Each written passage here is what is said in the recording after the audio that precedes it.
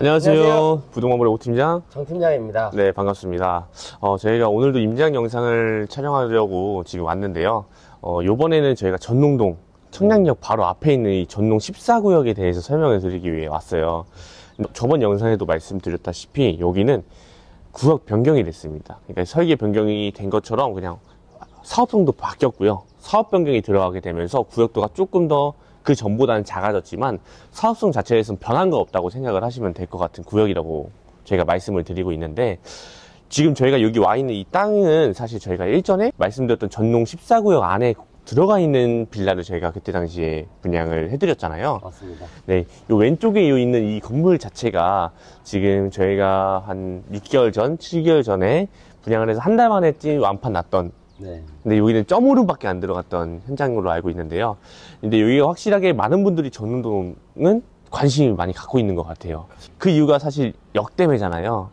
혹시 정의사님께서 역에 대해서 한번 설명해 주실 수 있으실까요? 아, 일단 그 수도권 집값을 잡고 있는 가장 큰 요소 중에 네. GTX를 빼놓을 수가 없죠. 그렇죠. 네. 근데 GTX가 두 개의 노선이 정차하는 역은 세 개밖에 없습니다.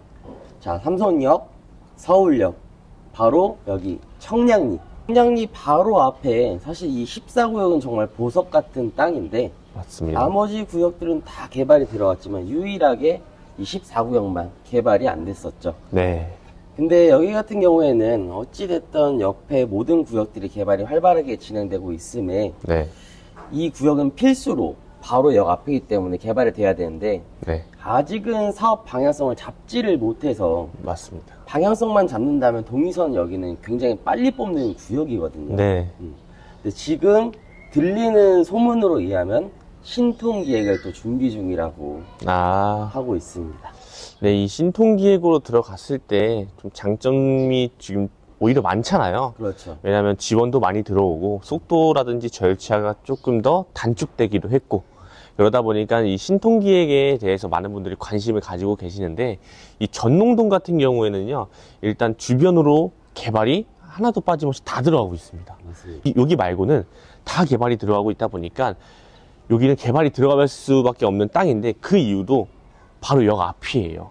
맞습니다. 청량리역이 지금 현재 개통돼서 운행 중인 것도 있고 추후에 예정 뭐 GTX부터 여러 가지 호선들이 있는데 총 다 합치면 한 14개 정도의 호선이 움직일 곳이라고 생각을 하시면 되기 때문에 뭐 경기도 외곽에서부터 뭐 서울 중심으로 올 때 한 번쯤은 거치- 걸칠 수밖에 없는 지역이지 않나 싶습니다. 그래서 이 지하철과 이 주변 개발 호재로 인해서 여기는 개발이 들어갈 수밖에 없는 땅이라고 생각을 하기 때문에 많은 분들이 저희한테 투자 문의를 주고 계신데 사실 가격대가 여기가 낮진 않아요.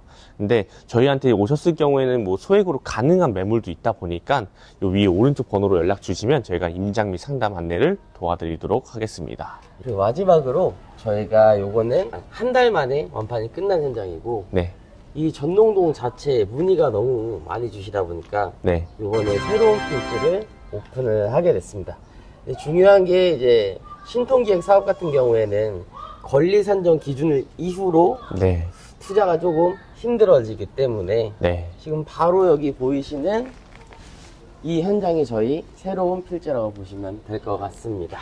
네. 어, 아까 이제 오 팀장님 말씀 주신 것처럼 위 번호로 문의 주시면은 뭐 임장이라든지 상담. 친- 음, 친절하게 상담 도와드리도록 하겠습니다. 이상으로 부동마블의 오 팀장 정 팀장이었습니다 감사합니다.